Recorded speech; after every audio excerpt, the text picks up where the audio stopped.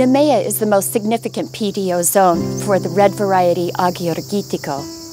The region is divided into three zones according to altitude, each producing different qualities and characteristics of the grape.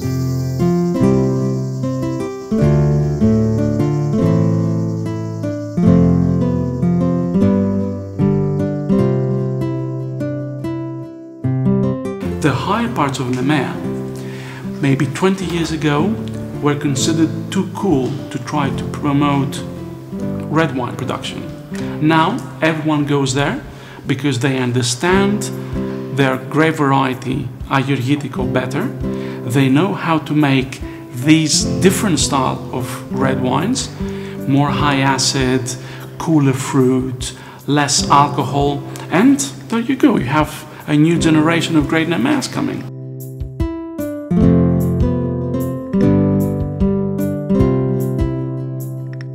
It's a multi-dimensional variety that can produce wines in a wide range of styles, from fresh, crisp rosé to medium-bodied, vivacious, soft reds with velvety tannins, but also deep, complex red wines that can be aged remarkably, and even sweet wines.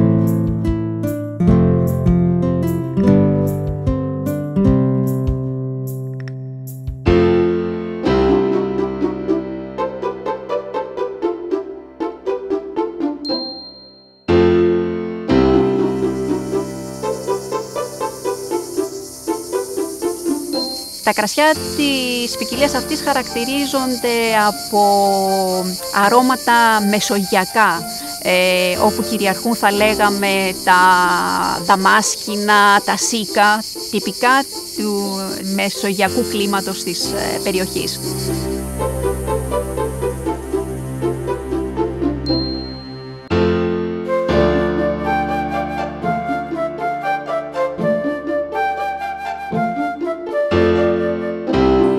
Agiorgitico variety takes a long time to mature, so the grapes are usually harvested mid-September.